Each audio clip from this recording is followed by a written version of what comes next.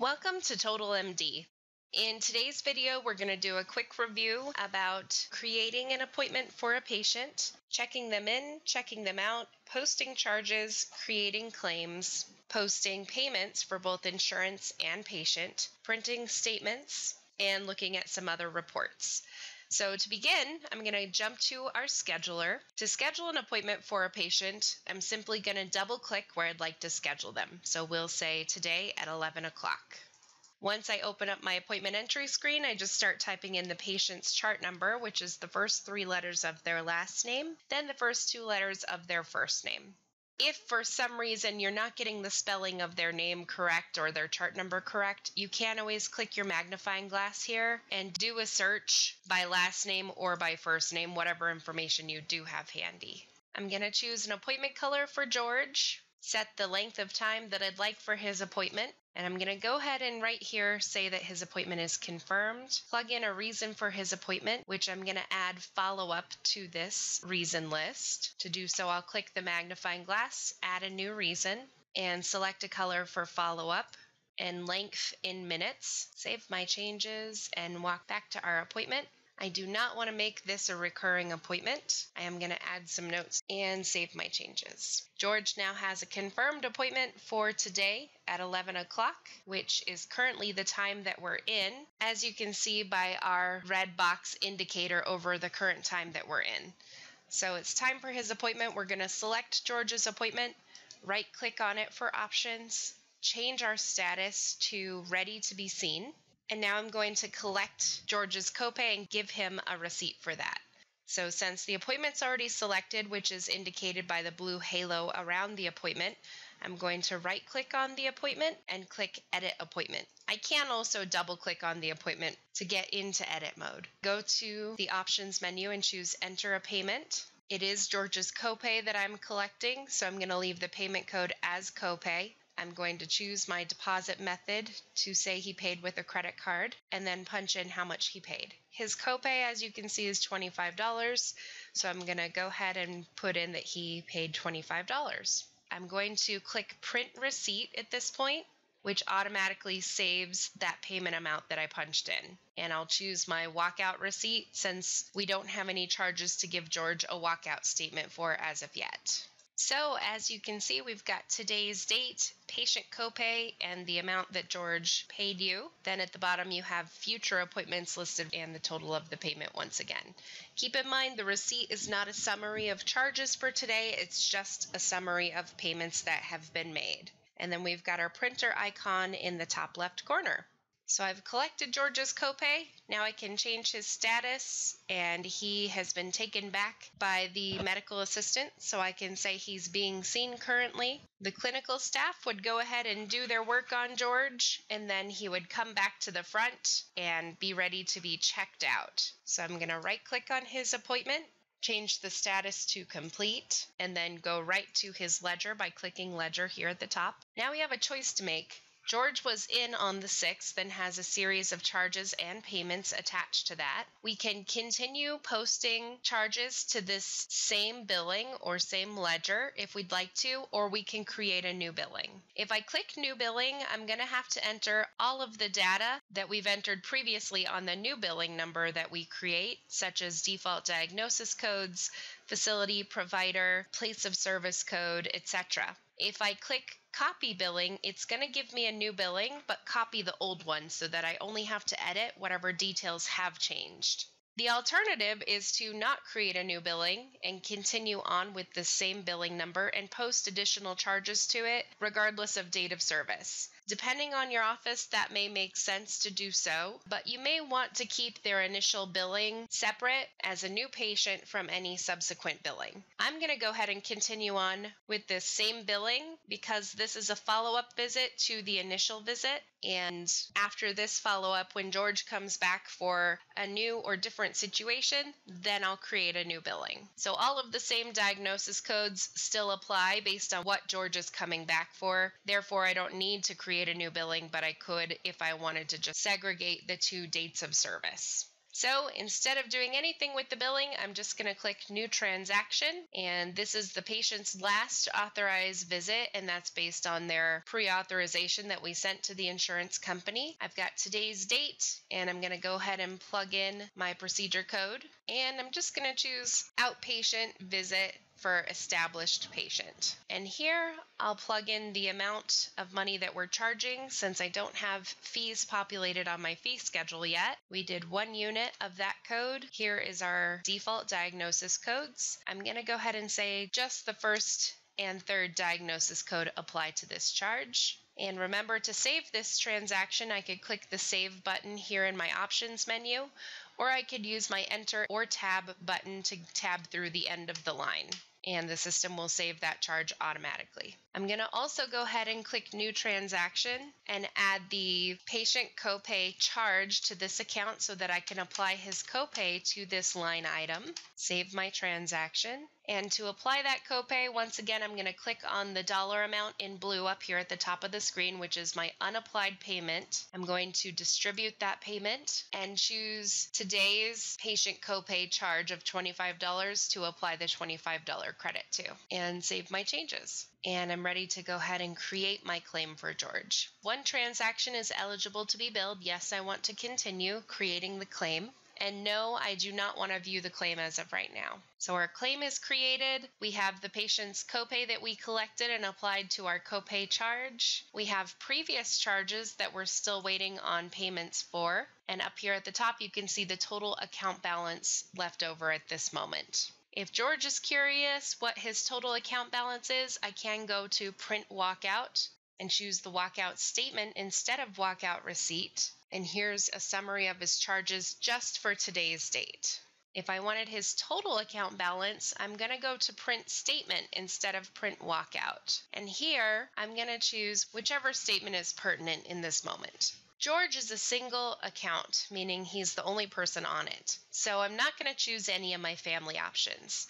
We do have patient options here, and so we want to focus in on just this patient, not the whole family. I have print responsible statement with a credit card box. The credit card box is designed for the patient to enter in their credit card information and mail you that statement back for processing. We have a patient responsible statement with a zero balance. So if George did have a zero balance but wanted to have a summary of his charges, this is the option you would choose, and it does not ask him to pay anything because he has a zero balance. We have a patient standard statement with detail and a patient standard statement with a zero balance as well. The difference between the responsible statement and the standard statement is the standard statement is going to ask the patient for the total balance of the account. The responsible statement is only going to ask the patient for the total balance on the account of closed claims only. If the claim is open and pending, it will not ask the patient to pay any money towards that open claim. The standard statement will show all charges regardless of whether or not the claim is open. So at this point, I would choose the patient standard statement detail because we just created a claim for some charges and George is simply looking for something that'll show him his current account balance. Now, because his balance is less than 30 days old, if I try and print a statement for him, it's not going to generate. That's something really important to know. These statements run on a 30 day cycle, so you can only print a statement for the patient every 30 days. There is ways around this to where you can go ahead and print a statement, but keep in mind, statements are bills. You're sending that to the patient, asking the patient to pay you money.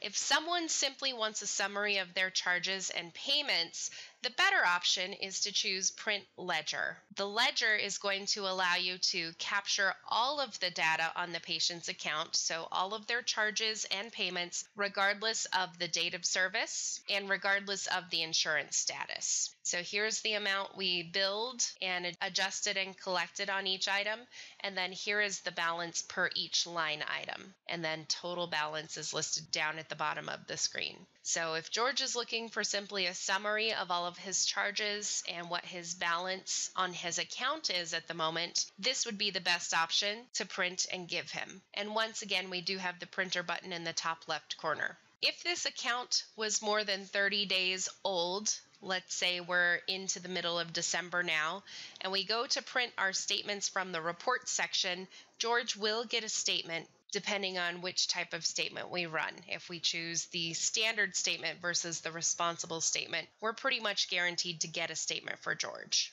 The point in having these ledgers on a 30 day cycle is to eliminate patients from getting multiple statements within one month if you've already sent them one, which some offices will do once they receive insurance payment in and post those payments, they'll automatically send the patient a statement. So the goal is to save you stamps and save your patient some heartache from getting a couple bills within the same month. You do have a reprint statement option in here if you had already printed one statement at this point for the patient or one bill you can go back and regenerate that same one. Let's say some time has passed now and you've received an insurance check payment for the patient. Let's go ahead to our options menu under enter a payment and we're going to choose new insurance payment and adjustment. At this moment, you're going to want to have your EOB handy along with the insurance check payment. We can see the date of payment, the type of payment is an insurance payment, the company that's paying us, and the code for that insurance plan. We can go ahead and stick with check for payment. We do have a selection for credit card or electronic funds transfer payments as well. We'll plug in our check number and our payment amount for this patient particularly. And I'm just going to go ahead and add George's name to this check in the notes section. What's really important here is once I click distribute or save, either option, this payment is already in your system. So if for some reason you get interrupted and have to stop what you're doing after you've clicked save or distribute, you just have to apply it to your patient moving forward.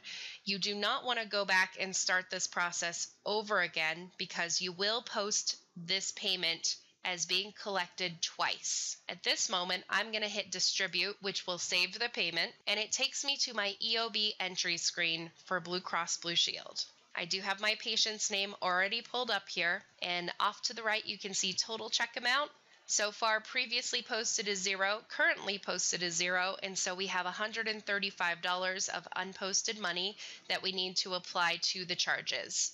This looks very similar to what your EOB should look like. You've got your date of service on the left hand side, a claim number, the service code that you billed out, and the amount you billed, the remainder is the remaining balance on the patient's ledger per item. So this is frankly irrelevant when it comes to posting your EOB. Your EOB does not get posted based on the patient's balance, it gets posted based on the data that is depicted on the EOB. So we have a section to enter the payment for each charge on the EOB, any deductible that was applied, and what the allowed amount is. The adjustment will automatically populate once you plug in the allowed amount.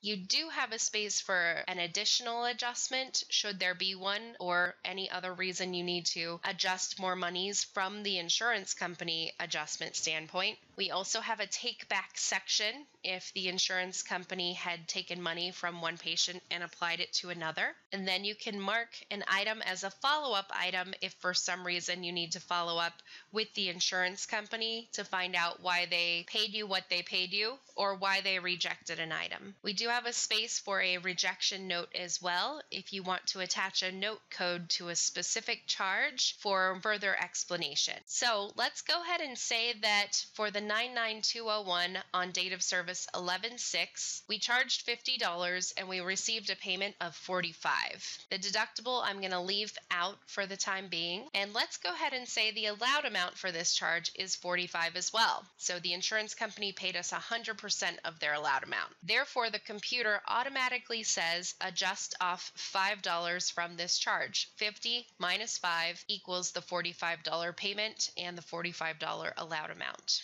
This is pretty cut and dry, so I have no reason to mark this as a follow-up item or add a note, a rejection note to that item as well. The next code down, the 00100, we charged $100 for that. Let's say we received a $90 payment, no deductible, and the allowed amount for that item is $100 as well. The computer does not calculate an adjustment because we are allowed to charge 100 and we did charge 100. So we do not have an insurance write-off to do in this situation. However, as you can see, we're going to have to charge the patient the remaining balance of $5 for that item. So perhaps this particular item is only covered at 90% of the allowed amount. We had previously written off $5 for that item, so that's why we have a $5 remainder showing here. I'm going to go ahead and mark this as a follow-up item just to show you what that does, and we can attach a note to this item if we need to. Perhaps the reason the insurance company didn't pay the additional $10 is because the patient's maximum was reached for the year. If that's the case, we can go ahead and click Insurance Max, and that's going to attach the insurance maximum reached note to this charge. I'll show you what it looks like on the ledger and then we can remove it and play around with some other options. So once I have my money laid out just like my EOB specifies, I'm going to go to my options menu and click post and close. It does show you one claim has been marked as paid and we'll click OK and it walks us backwards to our payment entry screen and you can see payment amount 135 unapplied amount now says zero, which is what we want. That means you completely distributed that full check. I'm going to close the screen and now we're back on the patient's ledger. So just to review, we have the 99201 from 11-6 date of service. We did an insurance adjustment of $5, a Blue Cross Blue Shield payment of $45, 50 minus 5 minus 45 is a remaining balance of zero. The next line item, we charged a 00100. We did do a patient adjustment or a courtesy of $5. We did not post any insurance adjustments, so that therefore says zero. We did post a Blue Cross payment of $90, and so 100 minus 5 minus 90 is a $5 remaining balance. And what's great about this is we do have our insurance max reached note with no additional coverage laid out right there. This will print out on our patient statement that we send them so that the reason why they owe us the $5 is specified right there on the bill. We then have our patient charge for copay, and that item has a zero balance, so we're not going to worry about that item. That's also not an item that the insurance company pays. And the rest of the charges here are for date of service 11-8, and we, in theory, have not received that payment yet. I do want to point out if you look to the right, we have the insurance paid column and now for these two charges, insurance one shows paid. And now for these two charges, insurance one is checked as being paid. So we've effectively closed the claim on these two charges. Your charge on the ledger will always show up in black, and any payments, adjustments, and notes will show up below the charge. Our adjustments are either going to be red or blue by default. If it's red, that means we're reducing money from the account. If it's blue, that means we're adding on an additional charge to the account. And then our payments, regardless of being an insurance payment or a patient payment, are always going to show up in green underneath, once again, the charge that they're attached to. If you look down the remainder column, you can see very easily what the patient actually has a balance left over from. So once we generate a statement for this patient, and if they call and start to ask questions as to where their balance is coming from, it makes it really easy for you to look down this section and say, well, we've got a $5 remaining balance. Look to your left to see where that charge came from what payments and adjustments have been applied to that charge, and give the patient a really easy explanation, such as insurance maximum was reached and no additional coverage available. With the new 30 day cycle statement, essentially you're going to want to wait until you send out statements for everybody else in the office once a month in order to bill him that $5. Perhaps in the meantime, you end up receiving payment for 11 8 date of service, and maybe he owes a balance for that too. So it gives you time to receive all the payments that you can up till that date that you send statements, and also trains your patients to expect one statement once a month. If you did want to send him a statement before that 30 day cycle for whatever reason, you can go to the report section of your system, click here under Search Archived Reports, and pull up an old statement that you'd like to run that is not on a 30 day timer. Let's say George then receives his statement at whatever point you send them, and he sent in a payment for you to collect. We're going to go ahead and post that and zero out his date of service. So I go to my options menu under enter a payment, click New Patient Payment and Adjustment, and I'm going to choose how he paid us. He's no longer paying a copay, he's paying his patient portion. So I'm going to change our payment code to however he paid us. Let's say he sent in a check. Remember, up here we do have a space to put in the check number and then the payment amount, which is going to be $5. Now we have a couple charges still on the account. So this is only showing items that have not been paid off or do not have a zero balance. Down here at the bottom of the screen, you can see we have the button checked that says hide zero balance billings. So anything with a zero balance is not displayed at this moment. I can go ahead and click the auto apply button in the options menu if I'd like. And it's going to take that $5 and apply it next to the oldest item first that has a balance if George paid us $15, for example, and then I click auto apply, $5 is going to go to the oldest item first, once again, trying to pay off the old balances to keep the account as current as possible. And the rest of the money overflows onto the next oldest charge. If this is not where you wanted the money applied, let's say, for example, there are multiple charges here, all you have to do is hit your delete button inside the box you want to remove the payment from and then you can simply click and type to add it to a different box. Obviously, we're not going to want to apply $15 to an item that has only a $5 balance because otherwise we'll create a credit on that particular item. So, the concept of line by line accounting is you pay off each line item until it has a zero balance. That way, you keep the account as up to date as possible and as clean as possible, and it very much mirrors what the EOB does that you receive from the insurance company, except for it's doing that on a patient level. So I've got my payment of $5 posted here against the charge I want it to go to. Unapplied amount says zero, so I'm going to go ahead and click Save Changes. Now, as you look down the remainder column, you can see that each item has a zero balance up until the most current item of 11.8, which we're still waiting on the insurance payment for. Let's talk about adding a few additional notes that don't particularly pertain to insurance companies. So, you may have a charge that you billed the patient, for example, this office outpatient visit. Let's say I want to go ahead and make a note that if the insurance company does not pay for this item, we're going to write it off.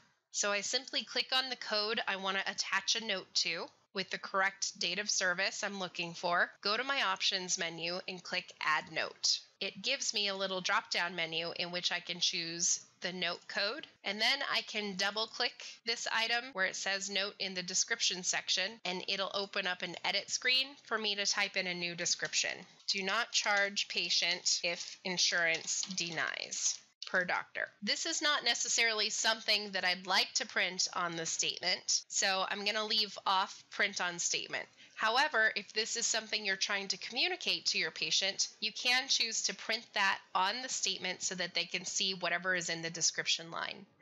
You do have an additional note section below. This section does not print on the statement and is simply for interoffice information. So, an example of a note could be Alicia spoke with the doctor on 11 6 doctor had agreed that the follow up visit would be free of charge to the patient as a courtesy if the insurance did not cover this item.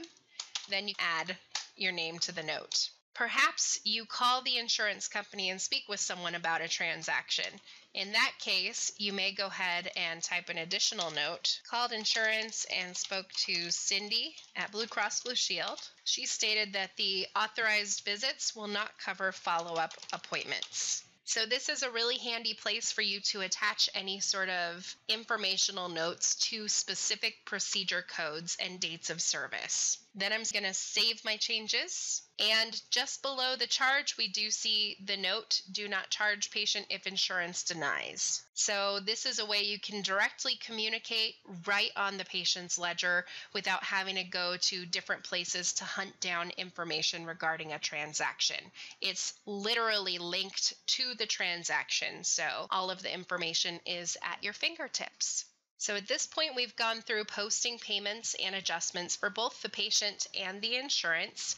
adding notes and linking those to our charges or transactions, printing statements for an individual, and now I want to talk just for a quick moment about deleting transactions. You cannot delete a transaction unless you have the security authorization to do so. That's assigned under Setup and setting up security, and it is based on the level of security you assign to each user in your office. I do happen to have security clearance to delete items, and so the point I want to make about this is if I try and delete a specific charge, I select the actual code I want to delete and hit delete transaction. It asks me if I'm sure. However, it does give you a little note that says this charge has payments or adjustments applied to it. Do you want to delete those now? So it does go ahead and delete the charge, but it does leave the payments and adjustments hanging out here unattached to anything. I went ahead and added back in that charge, and I want to show you how to attach or move a payment or an adjustment to a specific charge. So what I'm going to do is double click on the code patient adjustment and down at the bottom of this account adjustment detail, I'm going to click the paid to item magnifying glass. Now I can see the charge that I added back in, the 00100. I click on it and select it so it's blue and I hit the select button and now this adjustment is attached to this anesthesia charge and save my changes. Again, I'm going to double click the specific code I want to move or attach, click the magnifying glass, and choose the code I want to attach it to and hit my select button and then save my changes. If your payment or adjustment is not specifically attached to a charge, it is going to create issues because your payments will be floating by themselves here on the screen and it won't specifically apply to any one item. Because the system is set up to do line by line accounting, you're not accounting for the charge that that payment should be attached to. So you might get what we could refer to as a balance mismatch, which means in the remainder column, some items may have a credit, such as if I had left these items unattached, and some items will have a balance. So when you hit print statement, it's going to show that the patient has a credit somewhere and a balance somewhere. We want everything to reconcile evenly. So if you charge $100, at some point there should be a payment or adjustments totaling $100 attached to that charge. As always, if you need additional help on that, please contact the training department. I do want to show you a couple handy things on this ledger in order to help you reconcile ledgers if need be. So if you look at the bottom of the screen, we do have some additional options. I want to point out the view says all. If I click on the word all, it lets you select which items you're viewing in the ledger in that moment. So if you just want to see charges, patient payments, and any ledger notes, I can select those boxes and close the screen, and that's all it shows me now is the charge, the notes, and any patient payments. So this is a great way for you to isolate specific items that you want to look at to see how many patient payments you've actually received from the patient. I can just display payments only if I'd like to really cut right to the chase in that situation as well. So once I want to bring everything back, I just go ahead and select everything once again. You also have different sorting options the payments with charges, payments with charges in ascending order, payments with charges in descending order, or sorting items by date or sorting items by date in the descending order. So that means that the most current items are on top and the oldest items are on bottom. I do want to point out that you have the option to view treatment planned items, and I could uncheck view ledger items. And this is how I could create a treatment plan to send in a pre authorization to see what's going to be covered by the insurance company ahead of time. So if I were to do that, I'm going to click New Transaction. I'm going to add in a procedure code, plug in the amount I want to charge for that. And keep in mind that the same default diagnosis codes do show up here because we're still on billing number one for the patient. I'm going to go ahead and save this transaction and you notice it disappears from our planned items.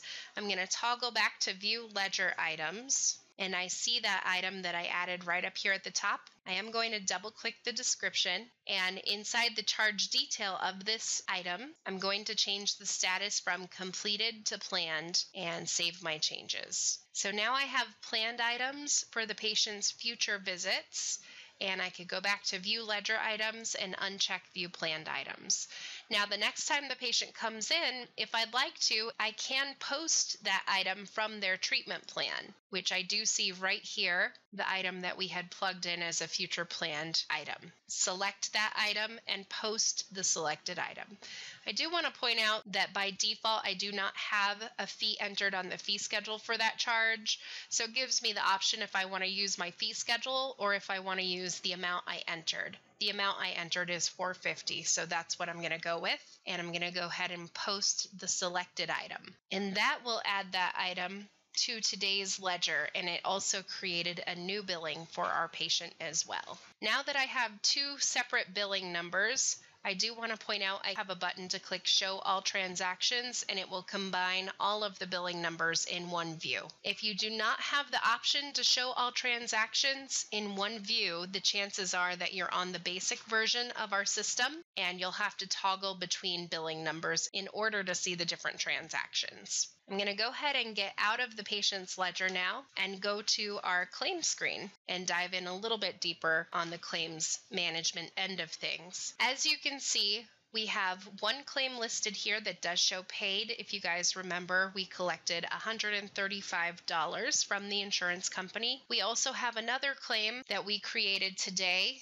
that does say that it's ready to bill. If you do not create claims per patient, meaning from their ledger, you can go to the claim screen at the end of the day and hit the Create Claims button here in the Options menu. It will tell you how many claims have been created and it will plug those in and update your claim screen. All of my claims say ready to bill, which means they all have the appropriate data listed on them. If we just jump to the setup screen real quick and go to modify claim pre-edits, I just want to remind you that these are the details the system is scrubbing for on every claim to make sure the claim complies with all of this information. So if it says ready to bill, that means it has all of this information added appropriately to your claim. If you have claims that do say ready to bill, go to your options menu and click print claims or send e-claims. The ones that say ready to bill are the ones that will print or send electronically. If I select this paid claim and choose print selected claim, it will reprint that claim for me. But if I just choose it as a batch print claims, it's only going to print the ready to bill ones. I can select multiple claims to print or send electronically if I hold my control button down on my keyboard and click on the ones I would like to utilize and go to my options menu and either choose print selected claim or send selected claim. It's going to send all of the ones highlighted in blue. A couple more tips to use on this screen is we do have the option to hide paid claims. So since they're paid, you don't necessarily need to be concerned about them again. However, there is occasion where you receive an EOB that is asking for a take back for a paid claim. So in that case, we could bring the claim back by unselecting the box. And let's say we needed to resubmit this claim. To do so, your claim status has to say ready to bill once again. You do not want to delete the claim and then recreate the claim just in order to resubmit. Keep in mind that this particular claim is the history of what those transactions have been through. So deleting the claim deletes your claim's history for that item that it had even been billed in the first place. The only time you want to perhaps delete a claim is before you've ever sent it out. If you need to correct some details, and it's simply easier to delete and recreate rather than updating several points of data on the claim form. Now that we are done with the ledger, I want to go ahead and take a look at our payment screen.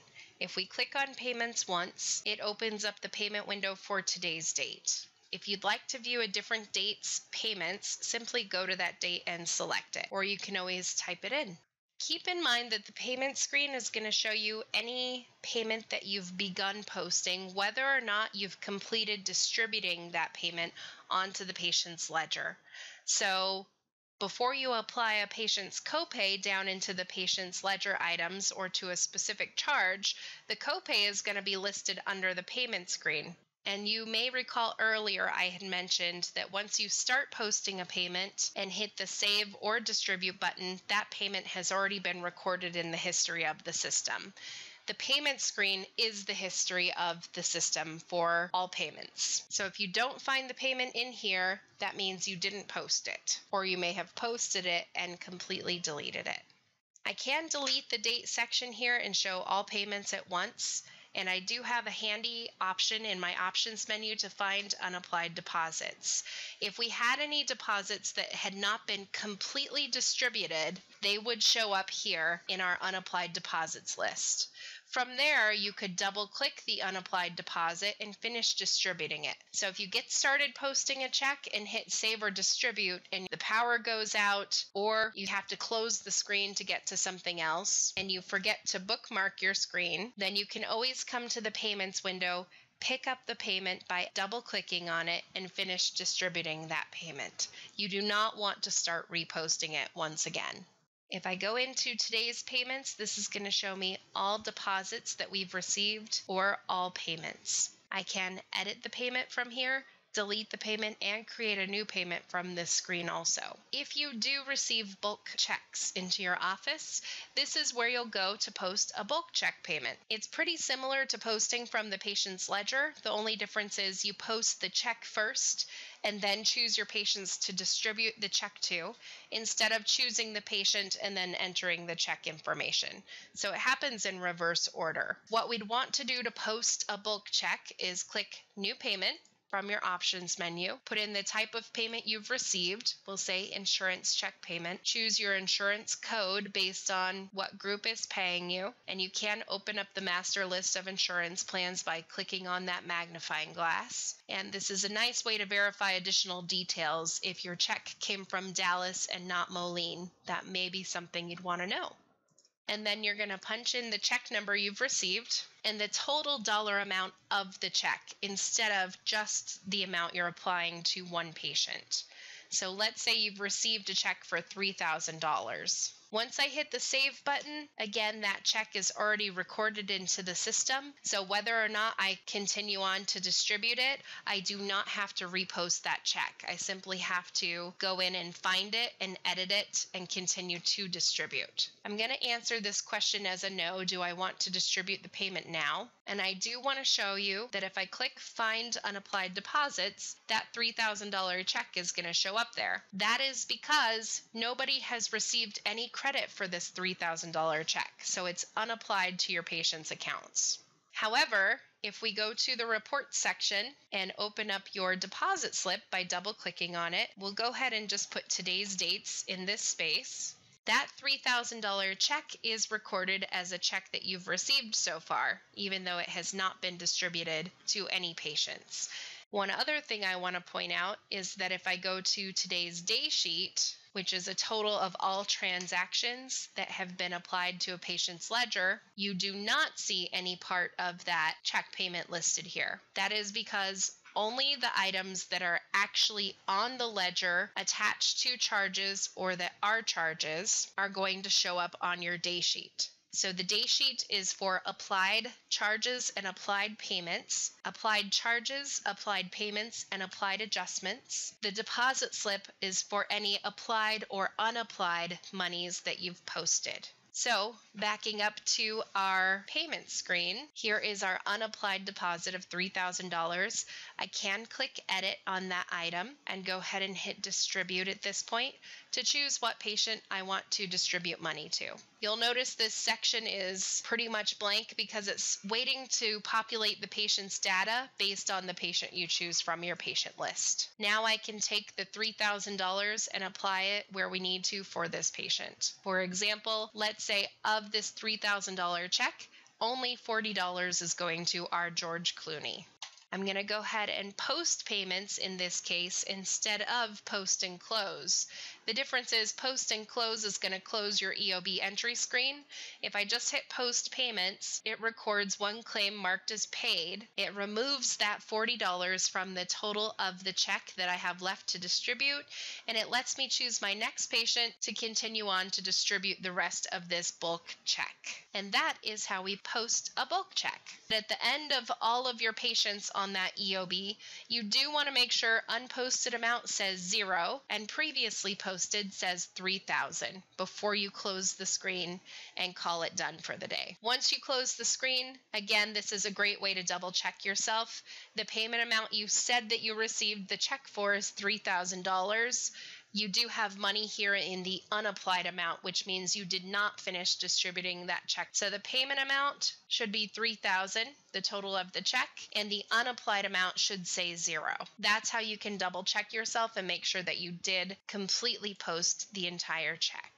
I'm going to go ahead and refresh the payment screen so we're not just looking at unapplied deposits, but we're looking at all deposits. You can search through the payment screen by insurance code, by description, which is patient copay, patient check payment, etc., by date, or by the ID number. We can also customize our filter here in this screen and search based on check number, payment method, and original amount, which is the total amount of the check, and any of these other additional options. Personally, I really like searching by check number. So if I want to find a particular check number and don't know what day it got posted to, I can type in that check number here and it shows me the only check that pertains to that check number. And then I know what date it went to.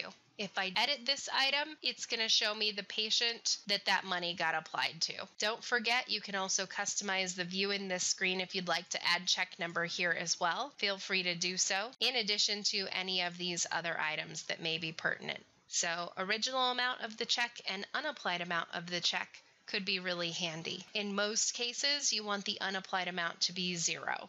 Now I want to move on to our claim screen. So just for the sake of keeping the system running its top efficiency, I'm going to go to File and Close All Screens. That empties out anything that I had opened previously, takes me back to my home page, and now I can jump to the claim screen. Once you're in the claim screen, I do want to point out that you can create claims in bulk instead of per patient.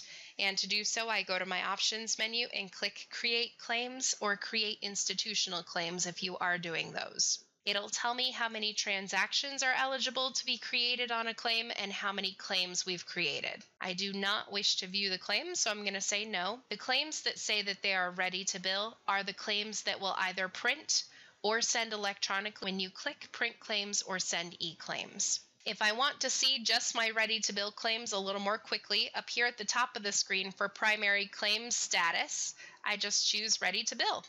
Now I can filter out my other claim statuses and focus in on the ones that I know are going to be sent when I hit the print or send button.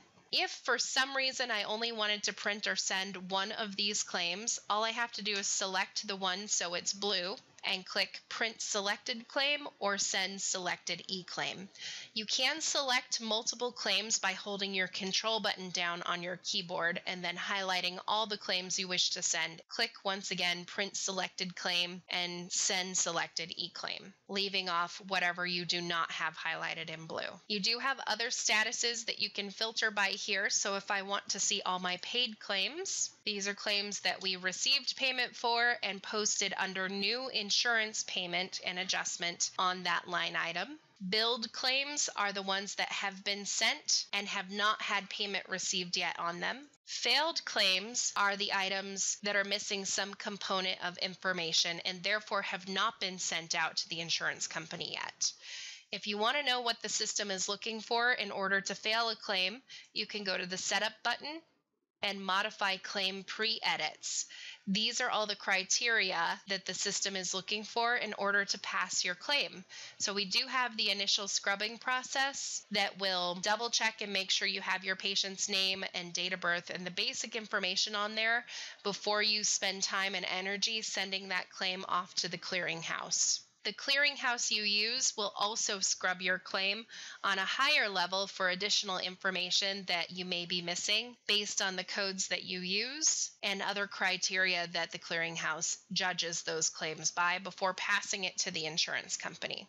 So our system does have an initial scrubbing process built in so that it does save you money when sending those claims to make sure you don't send a bad claim out. We also have a suspended claim status, which is basically a holding tank for your claims. So if I knew for whatever reason that this claim needed some additional information, such as injury date or illness date, I can put the claim on hold until I have it. To do so, I'm going to double click the claim, go to the billing tab of the claim, and change the status to suspend and save my changes. Now, if I look at my suspended claims, I can see that this one is on hold.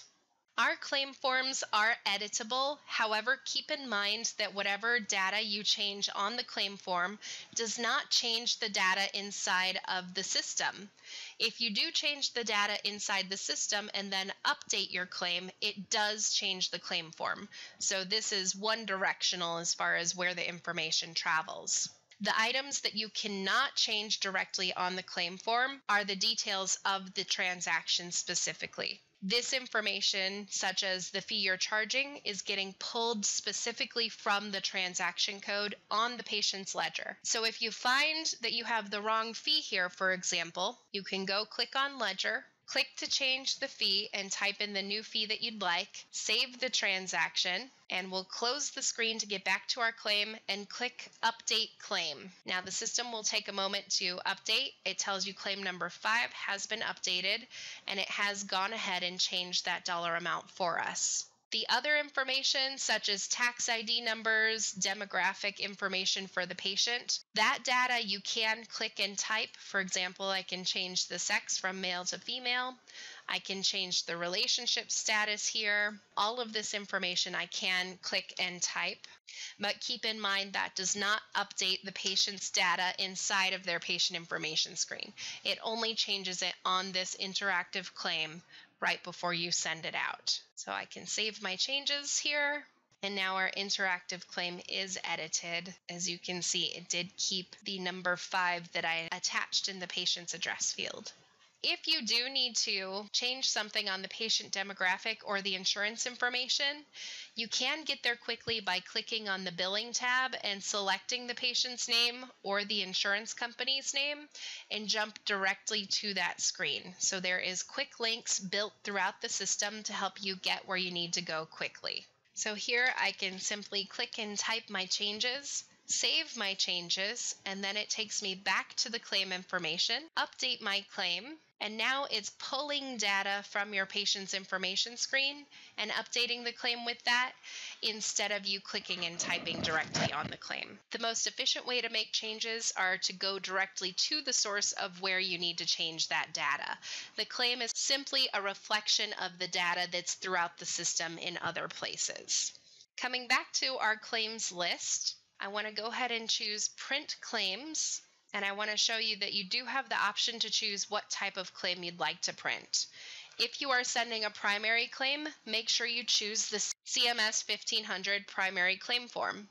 If you're printing the secondary claim, make sure you choose secondary, and same for tertiary.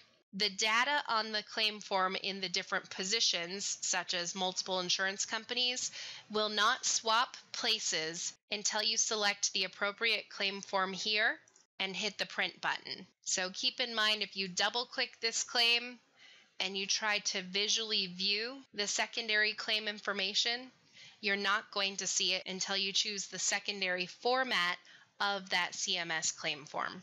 So we're going to go ahead once again to print claims. I'm going to choose primary. We will print preview these items and it does not track the item as actually printed until you hit your printer icon. Once you do so, you do get an option. Once you do so, you do get the option to mark these claims as printed. This is what's going to change the status of the claim from ready to bill to billed. So now I'm going to just delete my primary claim status so I can see all. So we've got our two paid claims here, and now we have our two billed claims here. Once again, if you needed to resubmit one of these billed claims for whatever reason, you're going to double click the claim, go to the billing tab, and change the status back to ready to bill and save your changes. Now it's ready to go once again when you click send eClaims or print claims. You do have a number of other searchable options or filter options up here at the top. You can filter by claim number. You can filter by name on the claim. You can filter based on the patient's billing number, the type of transaction, and the status of the secondary claim. Keep in mind the customize view and customize filter options are over here in the options menu, so you can play with this and add anything additional that you'd like. You also have a space to choose a specific date range to view your claims in. We also have the option to hide our paid claims just with the click of the button so you're not focusing on the ones that have already been taken care of.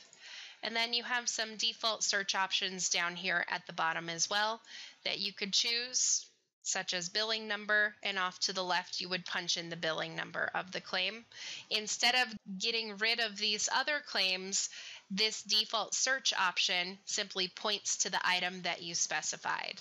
I do want to point out that I did customize my view and added the timely filing section to my claim screen. And this is really handy to know when your deadline for sending these claims are. If I jump forward in time to less than 30 days before my timely filing date, I want to point out that all of the pertinent claims that still need to get sent or paid turn purple in this screen.